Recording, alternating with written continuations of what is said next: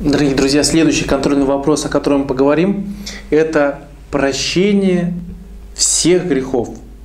Вот э, Бог нам прощает какие грехи? Те, которые мы э, совершили до, до момента покаяния, уверования, до момента возрождения, или вообще все, даже будущие грехи? Вот интересный вопрос.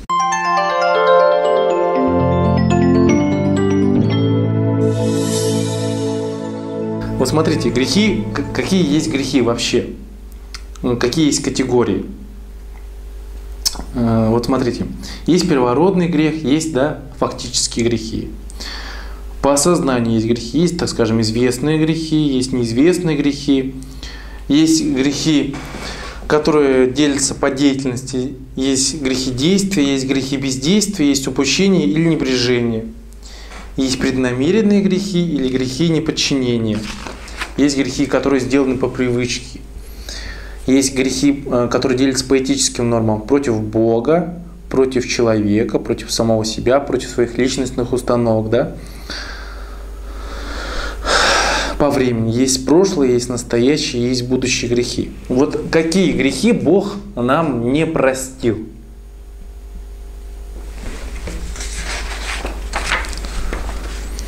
Вот э, в Римлянам 3 глава. «Но ныне, независимо от закона, явилась правда Божия, которая свидетельствует законы пророка. Правда Божия через веру в Иисуса Христа во всех и на всех верующих, нет различия.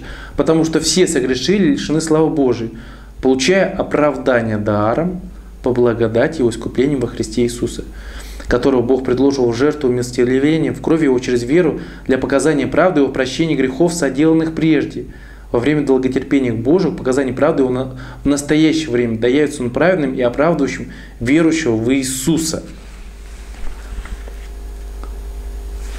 И Иисус Христос нам простил вот все грехи. И вот понимаете, в чем проблема? Бог заключил с Авраамом завет, потом э, заключил э, Моисеев завет, да? И грех, он стал разделением. Он, грех, грех, в чем проблема-то греха?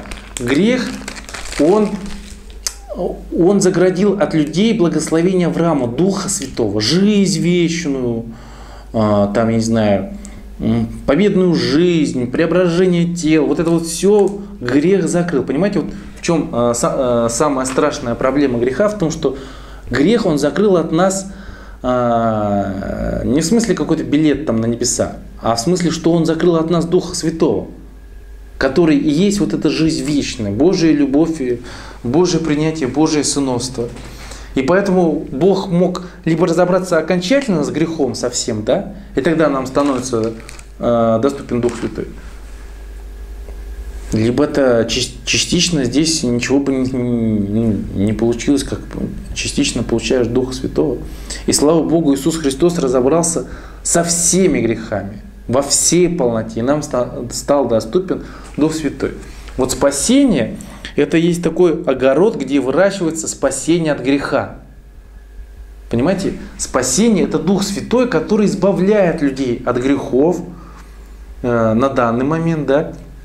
Вот подается вот это прощение, потом избавление от грехов, и, и, и потом с преображением тел люди окончательно избавляются от греховной силы, которая в них существует.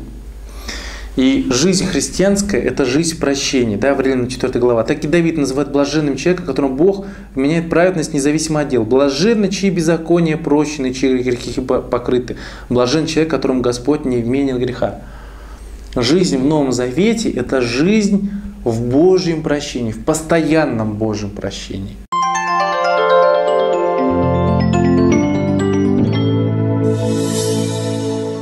Но здесь смотрите, как, какие есть моменты. Если мы говорим о том, что Бог простил все грехи и даже будущие грехи, то это не говорит о том, что «Ой, без разницы теперь что делать».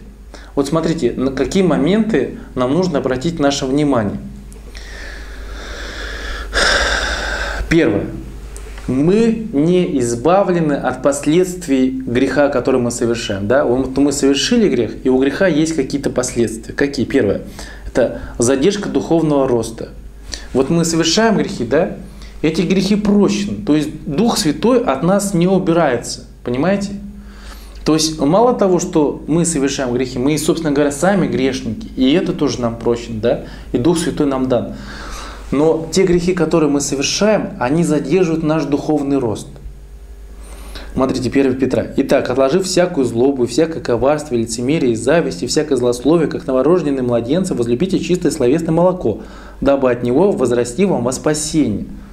Здесь не говорится о том, что нам нужно стать безгрешными, чтобы быть спасенными. Наоборот, так как благо... потому что мы обрели Духа Святого спасения, теперь нам нужно возрастать в этом во всем. Потому что это наша судьба. И окончательно мы будем избавлены вообще от всякого греха. Второе.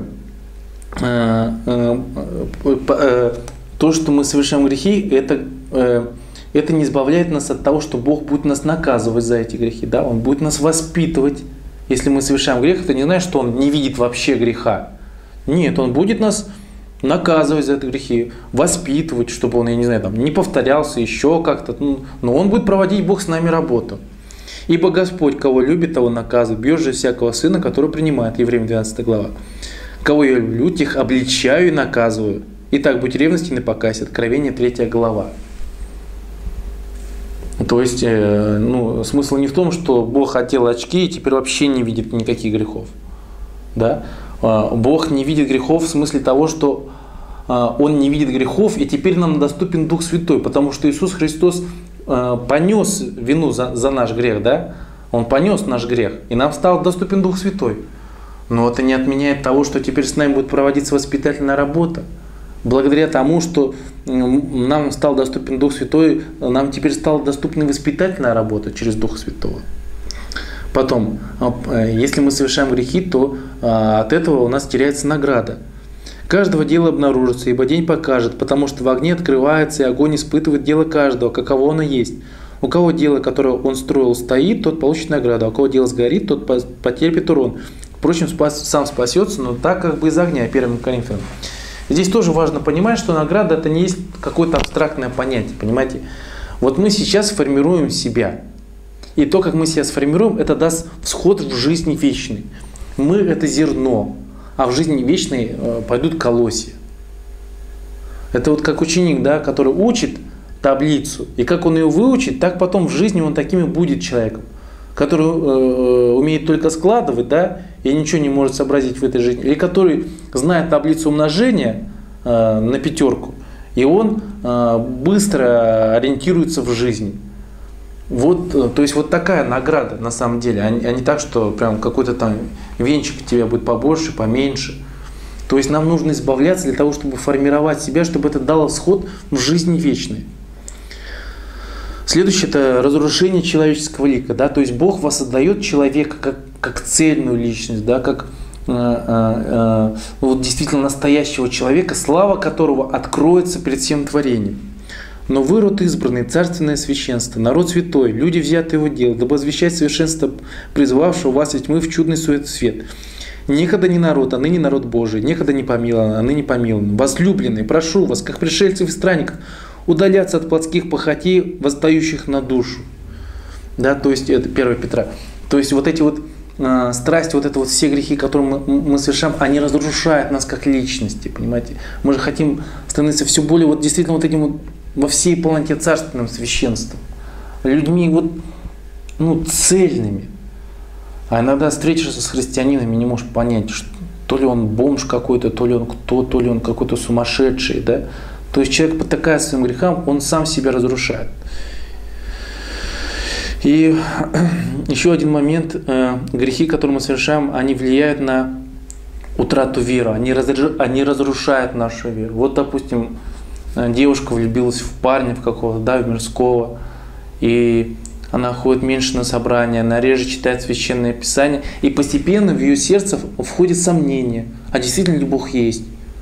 Да? Если раньше она отождествляла себя со, со Христом, то оказался такой момент, когда она сказала, да, да это все выдумки, это все выдумки. Иисус Христос, да, это вообще миф, его не было плевала я на все, да, и уходит из церкви, или выдумывает какие-то свои собственные религии. То есть грехи, они влияют на нашу веру. И если мы потеряем нашу веру, понимаете, если мы э, для нас Иисус Христос это больше не наш заместитель, не, тот, с кем мы отождествились, то тогда нам уже ничего не, поме, не поможет. Мы утратим действительно Духа Святого.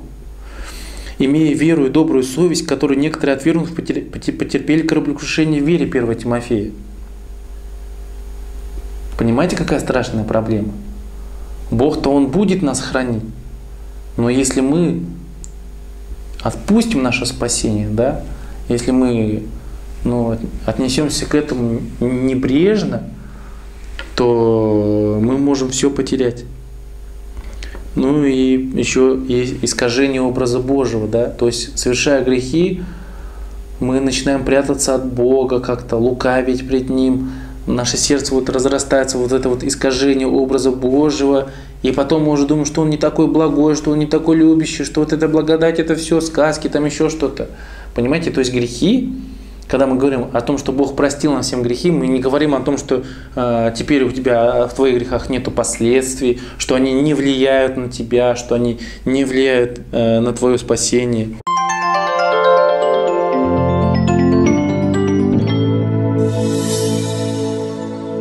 Ну и давайте посмотрим на песни. Э, что в наших песнях говорится о прощении грехов? Э, номер первый. Бог нас навеки простил во Христе, да? Э, слушайте повесть любви простоте. Бог нас навеки простил во Христе. Это сделал перевод Проханов. 115 номер Проханов написал. Мир постоянный, грехов всех прощения, дивную помощь в различных скорбях, стойкость в борьбе и надежду спасения вечно дарует нам верность Твоя.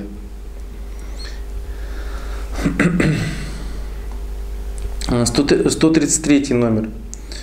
Фредерик Блум написал, он э, был э, в церкви, потом он отпал от Евангелия, попал в тюрьму, и он озлобился на Бога, а потом он вышел и пережил духовное рождение свыше. И он написал, «Чудная любовь Иисуса, все грехи Он мне простил».